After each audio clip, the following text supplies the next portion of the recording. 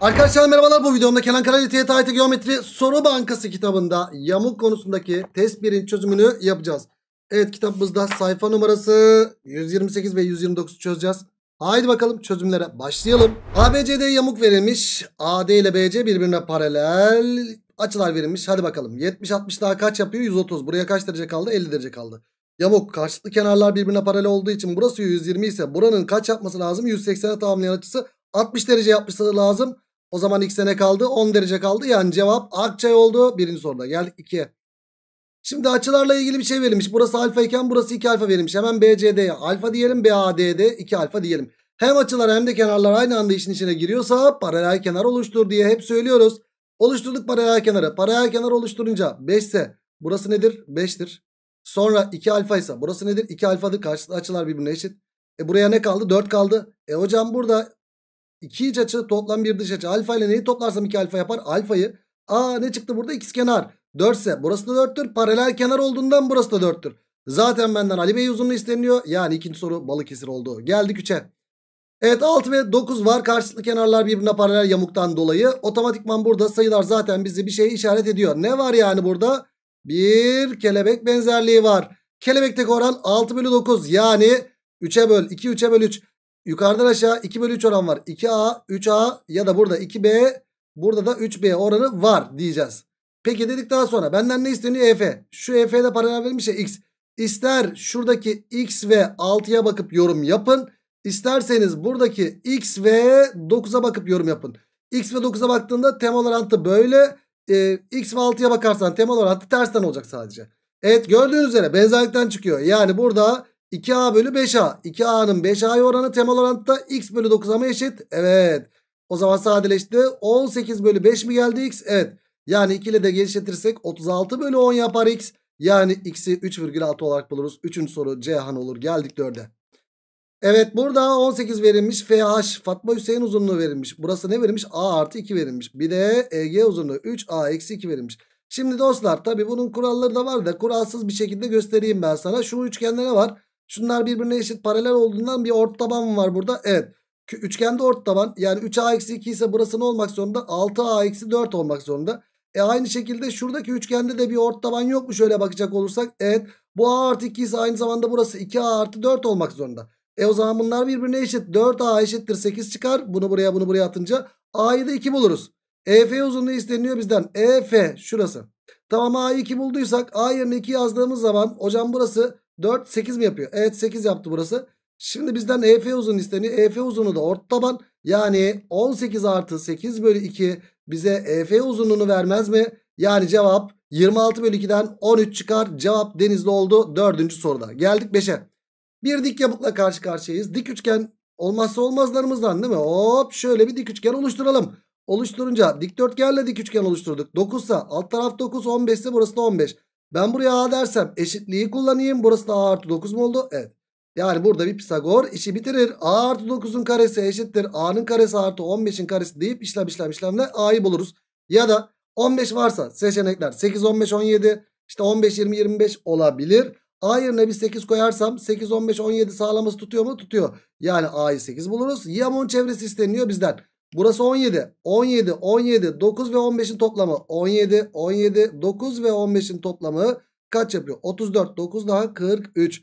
43, 15 daha 58 mi yapıyor? Evet 58 yapıyor. Cevap denizde oldu 5. soruda. Geldik 6'ya. Şimdi dik yamuk bizim olmazsa olmazımız nedir arkadaşlar? Şöyle dikdörtgenle bir dik üçgen oluşturmak. Haydi bakalım 12 ise 12, 16 ise 16. Ee, buraya kaç kaldı o zaman? Şuraya 6 birim kaldı. E şimdi ben bu uzunluğu bulmak istiyorum. Şekilde de 90 derece var. 90 derece varsa dik üçgene karşılık getirmek en mantıklı hareketti. Hocam şuradan bir dik çizersem ona karşılık bir dik üçgen karşımıza çıkıyor mu? Çıkıyor. Nerede? İşte tam olarak burada bir dik üçgen çıktı. Öncelikli olarak benim nereyi bulmam lazım? Burayı. E burada da şunlar birbirine paralel. E bunlar da birbirine eşitse bir orta taban çıktı mı? Çıktı. 16 ise burası kaç yapar? 8.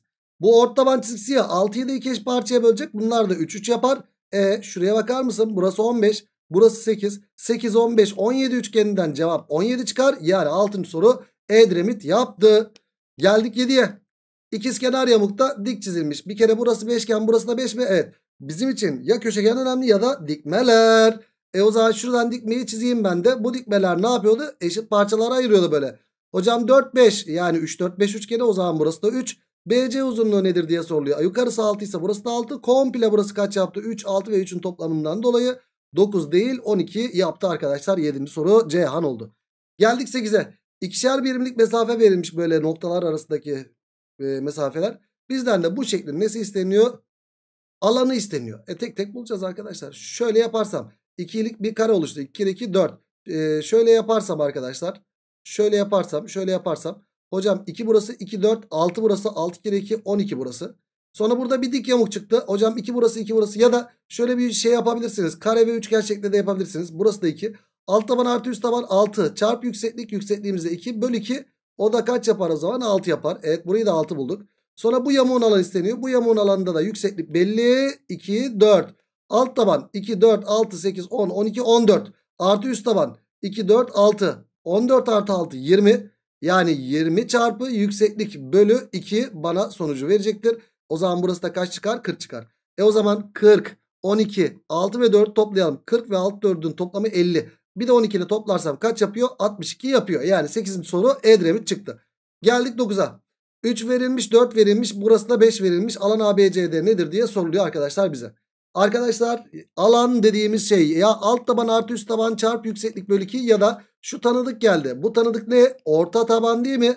Orta taban çarpı yüksekliği de eşittir. E yüksekliğimiz burası 5. Bunun devamı da şurası da. Bak şunlar birbirine eşitse bu yamukta da bir orta taban çıktı. Burası da 5. Yüksekliğimiz kaç çıktı? 10. E orta taban belli mi belli? 7. Yüksekliği belli mi? Yamuğun belli. 10. 7 çarpı 10'dan cevabı ne buluruz? 70 olarak buluruz. Evet 9. soru Balıkesir oldu. Geldik 10. soruya. 150 derece var alan isteniyor bizden. Burası 150 ise burada kaç kaç derece? 30 derece. 180'e tamamlayalım. Alt taban artı üst taban yani 18 çarp yükseklik. Yüksekliği bulalım. E 30 var ya çekelim bir 90 derece. 90'ın karşısı 8 ise 30'un karşısı 4'tür. Yüksekliği de 4 bulduk. Çarp yükseklik bölü 2 bana sonucu verecektir. Cevap buradan kaç geliyor? 36 geliyor. Yani cevap Akçay oldu 10. soruda. Geldik 11'e. ABCD yamuk ve tüm alan 32 verilmiş. AED'yi 2 vermiş. Burada kalan A burada kalan B. Yamukta yanaklar birbirine eşit değil miydi? Evet. O zaman burası A ise burası da nedir? A alandır. E bir de dörtgenle karşılıklı alanlar çarpımları birbirine eşitti. Yani A kare neye eşittir? Şu ikisinin çarpımı 2B'ye eşittir. Bir daha adam bana tüm alanı vermiş 32 diye. Toplayalım. 2A artı B artı 2 eşittir 32 ise 2A artı B'yi ne buluruz buradan? 30 buluruz. E arkadaş A kare 2B'ye eşitti. Yani buradan B neye eşit oluyor? A kare bölü 2'ye eşit oluyor. B yerine A kare bölü 2 yazarsam. Burada da 2A var ya. Topladığımda bu 30'a eşitmiş. O zaman bu ne yapıyor? Bunda bunu çarptım 4A. A kare artı 4A yaptı. Bir de bölü 2 eşittir 30 ya. Öbür tarafa 60 diye geçti.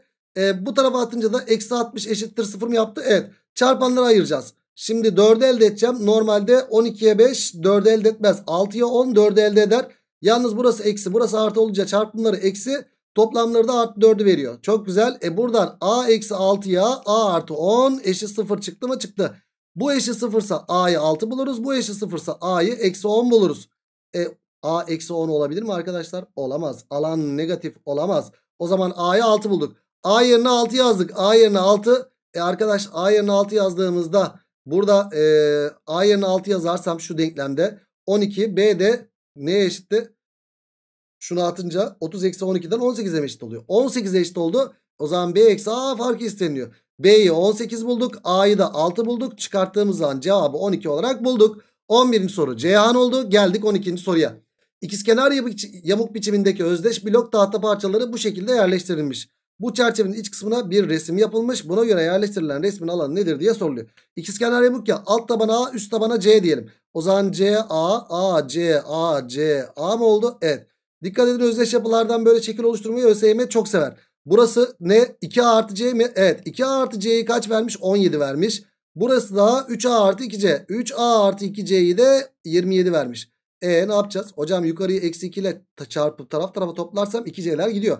Eksi 4A artı 3A eksi A yaptı. Sonra eksi 2C'ler gitti. Eşittir. Eksi 34 eksi 34 artı 27 de eksi 7 yapar.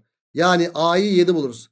A yerine 7 yazdığımızda hocam burası 7 ise o zaman burası da 7. 7 7 14. C'ye ne kaldı? 3 kaldı. O zaman bitti. Tamam bitti. 7'ye 3. Hocam şurası 3. Burası 7. Burası da 3. Burası 3, 7, 3, 7, 3.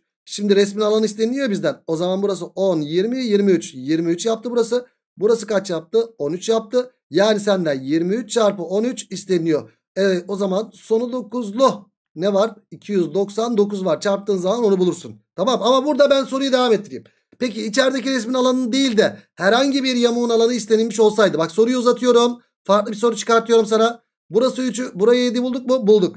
E hocam burada özdeş yapıları kullandım ve dikdörtgen içerisine koydum. E dikdörtgen içerisine koyunca bunlar alfa alfa değil mi taban açıları ikizkenar yamuk olduğundan? Evet. Hocam burası da alfa alfa. Aa bunun tamamı 90 ya. Alfa dediğimiz kaç çıktı? 45 derece. Burası 45 burası 45 çıktı. E o zaman burada bir dikmeleri çizersem ben ikizkenar yamukta. O zaman 3 ise burası 3. Bunların ikisine 4 kaldı ve bunlar birbirine eşit. 2'ye 2 oldu. E 45 45 90 üçgeninden burası da 2 oldu. Bunun alanı istenilmiş olsaydı bak bunu ayrı çözüyorum. Bunun alanı alt taban artı üst taban 10 çarp yükseklik. Yükseklikte kaç çıktı? 2. Böl 2'ye 10 yapardı arkadaşım. Evet bunun alanı 10 yaptı. Böyle bir sorulmuş olsaydı soru sorulmuş olsaydı cevap 10 olacaktı. Ama biz cevabı ne bulduk? 299 bulduk arkadaşım. Ve böylelikle yamukta ilk testi bitirdik. O zaman ne diyoruz? Bir sonraki videoda test 2'nin çözümünde görüşmek dileğiyle. Kendinize iyi bakın. Hoşçakalın.